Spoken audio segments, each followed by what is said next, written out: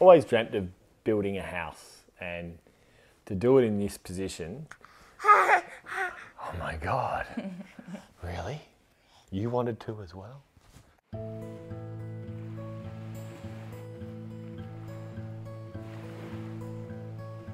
So we purchased the property in May 2016. We'd had a house that was renovated in the, in the region and then when the front row opportunity came up we thought it's too good to, to knock back and lucky to purchase it with an ever expanding family. That's true. That's true. We sort of spent a, probably a good 12 months sort of living in the house and planning on the design that we wanted because we received some advice around live in it first to actually understand what you like about it and the different elements of the property and, and how you'd compose your new design.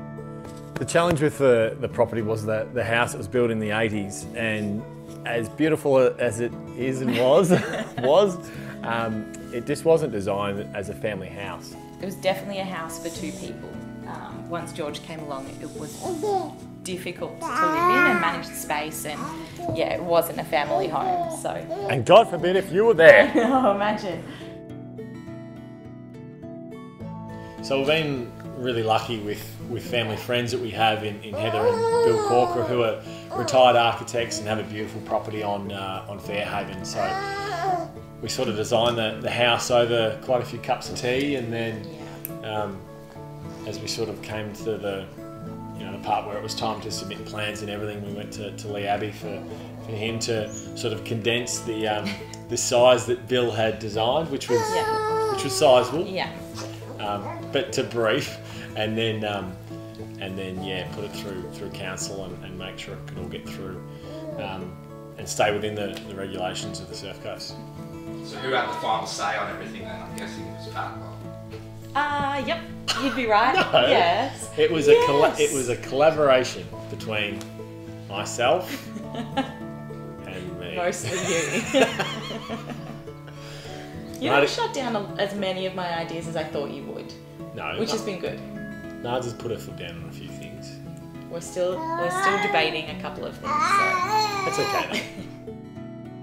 I think when it comes to the ideal house, for me, it's around natural light, building in as much of it as possible.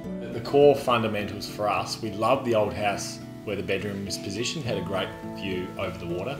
But what we didn't have was the, the meals area overlooking the water and also a living room overlooking the water. So those were the three rooms that we wanted southern aspect over the oceans. One of the, the challenging pieces for us with the design process was the, the BAL ratings, so the fire ratings that you have in the surf coast. I didn't grow up in a bushfire area, so that was something that I was new to me to actually talk about and, and consider when building a house. So um, I found that really interesting what materials you can use and can't use. It meant that we weren't able to have certain timbers on the facade, so what we've ended up going with was something that we'd sort of planned early on in the build, which was a charred timber. It's a product that I think looks fantastic, weathers really well, but is functional. And I think for us, function has to sit above the aesthetic simply because anything that's, that's not of decent quality just gets found out so quickly in that environment. The spiral staircase for, for me was a really important one. We've got a wonderful view where we are, but the ability to go up just that next level higher and still have it hidden by the roof meant we could capture incredible views right along the beach, but also um, pick up the Spout Creek and be able to check sort of the surf conditions and the boating conditions. Um, you know, two things that I love doing. It's a good way to, to spot fish. This is it. We put everything into this house that we've sort of learnt from the houses, different houses we've lived in. I think we've nailed it as much as you can possibly nail something. I'm sure there'll be things that we'll finish the build and go, oh, we should have done this, we should have done that.